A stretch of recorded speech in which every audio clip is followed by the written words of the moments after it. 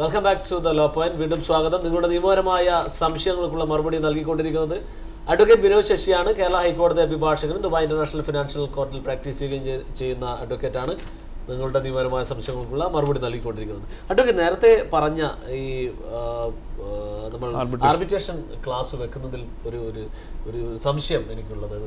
ശരിയാണോ എന്ന് അറിയില്ല ഇത് നമുക്ക് അപ്പീൽ പോകാൻ സാധിക്കും. കാരണം സാധാരണ കോടതികളിൽ നമ്മൾ ഒരു കേസ് അടുത്ത ഒരു പ്രതീക്ഷ എന്ന് പറയുന്നത് അപ്പീലിന് പോകാന്നുള്ളതാണ് അപ്പൊ ആർബിട്രേഷൻ ക്ലാസ്സിൽ ഫൈനൽ വിധി വന്നു കഴിഞ്ഞാൽ അപ്പീലിന് പോകാൻ സാധിക്കില്ല എന്നുള്ളത് അതുകൊണ്ട് ഇതിന് ഇത് ഇത് ഇതൊരു ന്യൂനതയാണോ അത് നല്ലതാണോ? എന്താണോ അതിന്റെ ഒരു അല്ല ഇതുകൊണ്ടാണ് ആർബിട്രേഷൻ വന്ന് അതാണ് അതിന്റെ കൺസെപ്റ്റ് മറ്റേത് കോടതിയിൽ ഫസ്റ്റ് കോടതിയിൽ ഒരു ജഡ്ജ് നമുക്ക് പോയി ട്രയൽ കഴിഞ്ഞ് ഒരു കേസ് വിധിക്കും.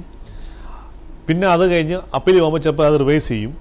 ഇത് പിന്നെ വീണ്ടും ഒരു കാലങ്ങളെടുക്കും ഇത് കഴിഞ്ഞ് സുപ്രീം കോടതി പോയി കഴിഞ്ഞാൽ സുപ്രീം കോടതി പോയി ഇത് ഏത് വിധി വരുമെന്ന് ശരിക്കുമെന്ന് പറയാൻ പറ്റത്തില്ല. അപ്പോൾ ഇവിടെ ഒരു അൺസർട്ടനിറ്റി ഈ ഈ ജുഡീഷ്യൽ സിസ്റ്റത്തിൽ നമുക്കുണ്ട്. സെയിം ടൈം തന്നെ ഡിലേ കണ്ടിന്യൂസ് ഡിലേയും വരുന്നുണ്ട്. ഒരെണ്ണം ഒരു കേസ് കോർട്ടിൽ വന്നു കഴിഞ്ഞാൽ അത് എപ്പോൾ തീരുമെന്ന് പറയാൻ പറ്റത്തില്ല.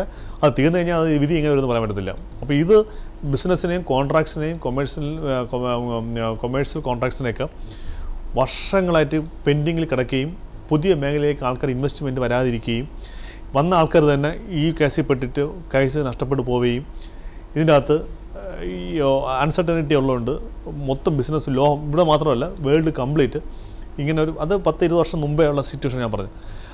ആ സമയത്ത് ജുഡീഷ്യറിയിൽ ഇത് ഇത് എങ്ങനെ പരിഹരിക്കാം? നമുക്കിത് എങ്ങനെ എഫിഷ്യന്റ് ആക്കാം? എന്നുള്ള സിസ്റ്റത്തിലേക്ക് വന്ന ചിന്തി ചിന്തിക്കുന്ന സമയത്താണ് ഇത് ആർബിട്രേഷൻ കൺസെപ്റ്റ് വരുന്നത്. ഓക്കെ അതിലേക്ക് വരുന്നതിന് ഒരു പ്രശ്നം കൂടി ചേർന്ന് ഹലോ നമസ്കാരം. ഹലോ നമസ്കാരം. ഹലോ. നമസ്കാരം. ആരാണ് സംസാരിക്കുന്നത്? സാർ എന്റെ പേര് ഷാജി എന്നാണ്. ഓക്കെ ഷാജി അഡ്വക്കേറ്റിനോട് ചോദിച്ചു. Okay thank you. Hello sir. പറഞ്ഞോളൂ. സാർ ഞാനൊരു കമ്പനിയിൽ ജോയിൻ ചെയ്തിട്ട് ഇപ്പോൾ ഒരു ടെൻ മന്ത് ആവുന്നു. പക്ഷെ അവിടെ എനിക്ക് പ്രോപ്പറായിട്ട് ചില മാസങ്ങൾ പ്രോപ്പറായിട്ട് സാലറി അവർ അപ്ഡേറ്റ് ചെയ്യുന്നില്ല. സാലറി സാലറി സാലറി പെൻഡിങ് ഉണ്ടോ? സാലറി ഇപ്പോ ഒരു ടു മന്ത്സ് പെൻഡിങ് ഉണ്ട്. ഓക്കെ സെപ്റ്റംബർ ഒക്ടോബർ മാസം പെൻഡിങ് ആണ് ഓക്കെ. അപ്പോ കഴിഞ്ഞ മാസം ഞാൻ വന്നിട്ട് നോട്ടീസ് പീരീഡ് കൊടുത്തിട്ടുണ്ട്. അപ്പൊ ഈ മന്തിൽ അത് കംപ്ലീറ്റ് ആവുക ഓക്കെ. പക്ഷെ അവരിപ്പോഴും സാലറിയുടെ കേസോ അല്ലെങ്കിൽ ക്യാൻസലേഷൻസോ ഒന്നും ഒരു പ്രോപ്പറായിട്ട് റിപ്ലൈ തരുന്നില്ല എനിക്ക്. രണ്ട് ഒരു കമ്പനിയിൽ വർക്ക് ചെയ്യുമ്പോൾ മിനിമം രണ്ട് മാസത്തെ സാലറി പെൻഡിങ് ഉണ്ടെങ്കിൽ എംപ്ലോയിക്ക് ലേബറിൽ പോയി കംപ്ലയിന്റ് ചെയ്യാം. അങ്ങനെ ലേബറിൽ കംപ്ലയിന്റ് ചെയ്ത് കഴിഞ്ഞാൽ ഒരു ബാനൊന്നും ഇല്ലാതെ തന്നെ എംപ്ലോയിക്ക് ആ കമ്പനി വിട്ട് വേറെ കമ്പനി ജോലിക്ക് പോകാം മാറാൻ ക്യാൻസൽ ചെയ്യാൻ പറ്റും. റീസൺ ഇത് മതി. ഇസ് റീസൺ പക്ഷേ സെക്കൻഡ് മന്ത് എനിക്ക് സാലറി അതായത് സെക്കൻഡ് മന്തിലാണ് ഞാൻ ഇതുപോലെ നോട്ടീസ് ഒക്കെ കൊടുത്തത്. അങ്ങനെയാണ് ആ മന്തിൽ എനിക്ക് പെൻഡിങ് ആവുന്നത്. അതെ രണ്ട് മാസം നമുക്ക് സാലറി കണ്ട് കാൽ സാലറി കിട്ടാതിരുന്നാൽ ഡയറക്ട്ലി ഈ court go to labour register complaint ഇത്ര ദിവസം പറഞ്ഞിട്ട്. അങ്ങനെയാണല്ലേ? ആ. നിങ്ങൾ എത്ര ഞാൻ ലേബറിൽ അന്വേഷിച്ചപ്പോൾ വേറൊരു ഇൻഫർമേഷൻ എനിക്ക് കിട്ടിയെന്ന് വെച്ച് കഴിഞ്ഞാൽ ഫോർട്ടി ഫൈവ് ഡേയ്സ് എന്റെ ലിമിറ്റഡ് കോൺട്രാക്ട് ആണ്. അതെ ലിമിറ്റഡ് കോൺട്രാക്ട് ആയതുകൊണ്ട് രണ്ട് മാസം സാലറി തന്നെ സാലറി തന്നില്ലെങ്കിൽ താങ്കൾക്ക് മൂന്ന് മാസത്തെ നഷ്ടപരിഹാരം ചോദിക്കാൻ പറ്റും. മൂന്ന് മാസത്തെ സാലറി നഷ്ടപരിഹാരം ചോദിക്കാൻ പറ്റും. ത്രീ മന്ത്സ് സാലറി അല്ലല്ല എംപ്ലോയിക്ക് ചോദിക്കാം. കാരണം സാലറി രണ്ട് മാസത്തെ സാലറി കിട്ടാത്തതുകൊണ്ടാണല്ലോ നമ്മളിപ്പോൾ ലേബറിൽ പോയത്. അപ്പോൾ അത് കോൺട്രാക്ട് ബ്രീച്ച് ചെയ്തത് നമ്മളല്ല. അവരാണ് ബ്രീച്ച് ചെയ്തത് കോൺട്രാക്ട് കാരണം കോൺട്രാക്ട് പ്രകാരമുള്ള വേജസ് തന്നില്ലെങ്കിൽ okay the breach of contract is from the part of the employer ആ അതിന്റെ പേരിൽ വിസ ക്യാൻസൽ ചെയ്യാൻ പറഞ്ഞു കഴിഞ്ഞാൽ നമുക്ക് മൂന്ന് മാസം സാലറി കൊണ്ട് നിങ്ങൾ ചോദിക്കാൻ റൈറ്റ് ഉണ്ട്. നഷ്ടപരിഹാരം ചോദിക്കാം. വിളിച്ചിരുന്നു. ആർബിട്രേഷൻ ക്ലാസിന്റെ ആ അത് തന്നെ അത് അപ്പീലിൽ നിന്ന് അപ്പോൾ അപ്പീലിൽ ഇപ്പോൾ ആർബിട്രേഷൻ വിധി വന്നാൽ ആർബിട്രേഷന്റെ മെറിറ്റ് പിന്നെ ചലഞ്ച് ചെയ്യാൻ പറ്റത്തില്ല എന്നുള്ള ക്ലാസ് വയ്ക്കാനുള്ള കാരണം അതാണ്. എങ്കിൽ അത് അതാണ് ആർബിട്രേഷൻ അല്ലെങ്കിൽ വീണ്ടും പഴയ വീണ്ടും പഴയ സിസ്റ്റം പഴയ തന്നെ പോകത്തില്ലേ? ആ സിസ്റ്റത്തിൽ നിന്ന് മാറിയിട്ട് ഒരു സെപ്പറേറ്റ് റൂട്ട് പിന്നെ ഇതിനകത്ത് വേറെ ഏറ്റവും വലിയ അഡ്വാന്റേജ് എന്ന് പറഞ്ഞാൽ നമുക്കൊരു കേസ് നമ്മൾ നടത്തുമ്പം നമ്മൾ കേസ് ഇവിടെ ഏത് കോടതിയിൽ ആര് കേൾക്കുമെന്ന് നമുക്ക് പറയാൻ പറ്റത്തില്ല. അതെ. അതേസമയം ഇവിടെ രണ്ട് പാർട്ടിക്കും അവർക്ക് അവരവരുടെ ജഡ്ജസിനെ അവർക്ക് നോമിനേറ്റ് ചെയ്യാം. എനിക്ക് ഇന്നാൾ ജഡ്ജ് മതി എന്നൊരു പാർട്ടിക്ക് പറയാം. അതേ പാർട്ടിക്ക് എനിക്ക് ഇന്നാൾ ജഡ്ജി മതി എന്ന് പറയാം. ഈ രണ്ട് ജഡ്ജിമാരെയും കൂടെ നോമിനേറ്റ് ചെയ്ത് കഴിഞ്ഞാൽ ഫ്രീഡം രണ്ട് പാർട്ടിക്കുണ്ട്. ഈ രണ്ട് ഇവർ രണ്ട് പേരും കൂടി ചേർന്നിട്ട് മൂന്നാമതൊരാളിനെ വയ്ക്കണമെന്ന് മാത്രം ഇവർക്ക് ഇവർക്ക് അതിന്റെ അകത്ത് ഇൻവോൾവ്മെന്റ് ഇല്ല. കാരണം കോടതിയല്ലേ അങ്ങനെ പറ്റത്തില്ലല്ലോ.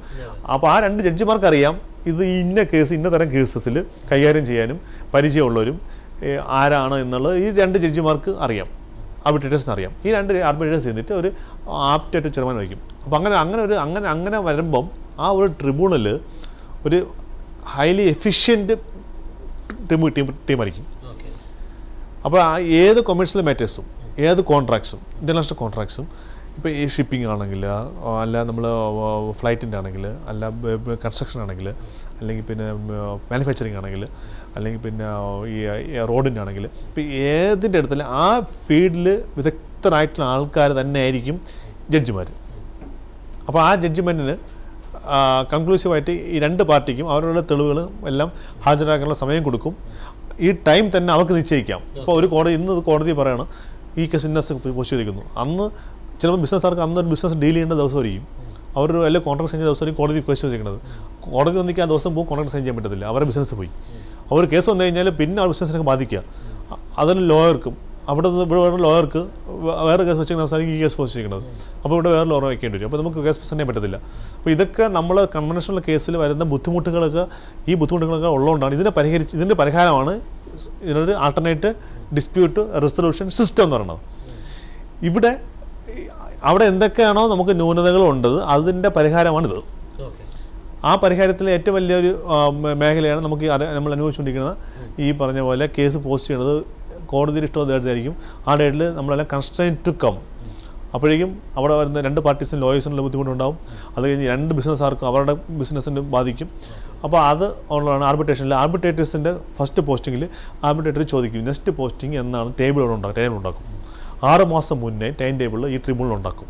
നിങ്ങൾക്ക് എന്ന് പോസ്റ്റ് എന്ന് ഹിയർ ചെയ്യാൻ പറ്റും? ഒരു പാർട്ടി എനിക്ക് ഇന്ന് ചെയ്യാൻ പറ്റത്തില്ല. ഓക്കെ അങ്ങനെ അടുത്ത ഡേറ്റ് ചോദിക്കും നിങ്ങൾക്ക് എന്ന് പറ്റും? രണ്ട് പാർട്ടി ഇഗ്രി ചെയ്തുകൊണ്ട് ടൈം ടേബിൾ ഉണ്ടാക്കി കഴിഞ്ഞാൽ ഇതിനെ പറയുന്ന പേരാണ് ടേംസ് ഓഫ് റെഫറൻസ് ഈ ടേംസ് ഓഫ് റെഫറൻസ് രണ്ട് പാർട്ടിക്കാരും ഈ ആർബിട്രേഷൻ സൈൻ ചെയ്താൽ that is the route map of this arbitration case അപ്പോൾ ഈ ട്രിബ്യൂണൽ ഈ കേസ് മാത്രമേ കൈകാര്യം ചെയ്യുള്ളൂ. ഈ ഈ ട്രിബ്യൂണൽ കൂടുന്നത് ഈ കേസിന് വേണ്ടി മാത്രമാണ്.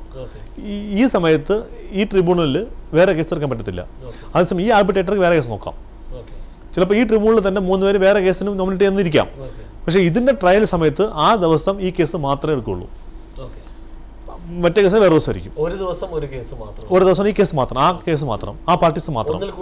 ഒരേ ഒരേ ടൈമത്ത് രണ്ട് കേസ് ഒരേ ഒരേ ടൈമിൽ രണ്ട് പാർട്ടീസ് വിടത്തില്ല കാരണം അങ്ങനെ വന്നാൽ മറ്റേ പാർട്ടി വീണ്ടും പല പല സിസ്റ്റം അതെ അതെ. അവർ കാത്തിക്കേണ്ട ഇവർ തീരണവരെ. അപ്പോൾ രാവിലെ കോടതി വന്ന് കഴിഞ്ഞാൽ കാത്തിക്കുന്നത് തന്നെ കോടതി ഏറ്റവും ശിക്ഷയാണ്. അപ്പോൾ ഇതിനൊക്കെ അവോയ്ഡൻസ് മാറ്റിയിട്ട് ഈ സിസ്റ്റം ഇത് വന്നതിന് ശേഷമാണ് ലോ ഇപ്പോൾ വേൾഡിൽ ബിസിനസ്സിന് നമുക്ക് ഇടുന്ന പൈസയ്ക്ക് ഒരു സേഫ്റ്റി ഉണ്ട്.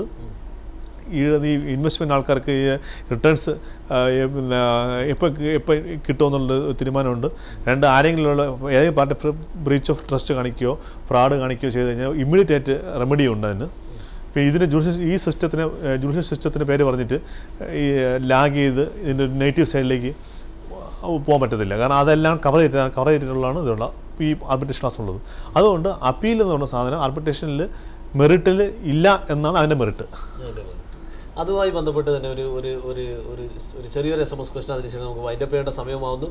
ചോദ്യം ഇതാണ് ആർബിട്രേഷൻ ക്ലാസ് ബിസിനസ്സുമായി ബന്ധപ്പെട്ട കേസ് ഡീലിങ്സിൽ മാത്രമേ ഉപയോഗിക്കാൻ സാധിക്കൂ എന്നാണ് ചോദ്യം. അല്ല ആർബിട്രേഷൻ എന്ന് പറയുന്നത് രണ്ട് പേര് പാർട്ടീസ് ഉണ്ടാക്കുന്ന എഗ്രിമെന്റിലാണ് ആർബിട്രേഷൻ ക്ലാസ് വരുന്നത് സാധാരണ. അല്ലെങ്കിൽ കോടതി കോടതിയിൽ നടന്നുകൊണ്ടിരിക്കുന്ന തർക്ക തർക്കം നടന്നുകൊണ്ടിരിക്കുന്ന സമയത്ത് കോടതിക്ക് ഒരു ആർബിട്രേറ്റർക്ക് ആർബിട്രേഷൻ വിടാം. ആർബിട്രേഷൻ ക്ലാസ് ഇല്ലെങ്കിലും കോടതിയിൽ കേസ് നടത്തുന്നുണ്ട്. കോടതി ഇത് നേരത്തെ ബെസ്റ്റ് ആർബിട്രേഷൻ പോണതാണ്. ഞാൻ കോടതി ആർബിട്രേറ്റർ വെച്ചിരുന്നു. ഡിസൈഡ് തന്നിട്ട് വിടാം. അതേസമയം ക്രിമിനൽ കേസിനില്ല അത് വേറെയാണ് ക്രൈംസ് എന്ന് പറയുന്നത് ദാറ്റ് ദാറ്റ് പോലീസ് പ്രോസിക്യൂഷനും ട്രയലും അപ്പീലും അതിന്റെ ഫസ്റ്റ് അപ്പീൽ സെക്കൻഡ് അപ്പീലും തരാം. അത് ഡിഫറെന്റ് ഡിഫറെന്റ് മേഖല. ഇത് only for the civil and for the commercial matters only international കോൺട്രാക്ട്സിനും കോൺട്രാക്ട്സിനും ആണ് ആർബിട്രേഷൻ ഉള്ളത്. നിരവധി എസ് എം എസ് ചോദ്യങ്ങളുണ്ട്. മുഴുവനാക്കാൻ സാധിക്കാത്തതിൽ ഖേദിക്കുന്നു.